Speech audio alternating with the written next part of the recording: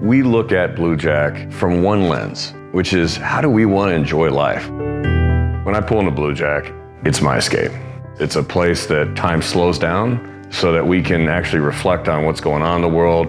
And at Bluejack creates that sense of you're slowing down time, which means you get more out of it. A lot of what Bluejack affords its members is the opportunity to connect. It's a series of little spaces throughout the property, 767 acres is all available to you.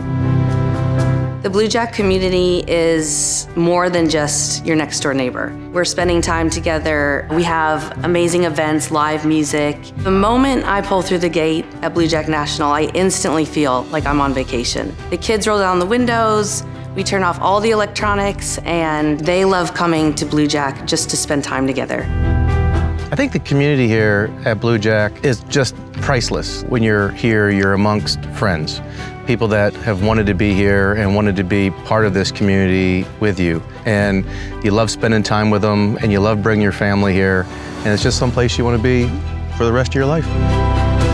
It just feels like coming home. You drive through the pine trees and the tranquility of it all. You drive in and you're like, oh, I'm home. Time to rest, relax from the hustle and bustle of what's outside. Friends from the outside come in, they're like, oh my God, this is just such a special place. It's beautiful here.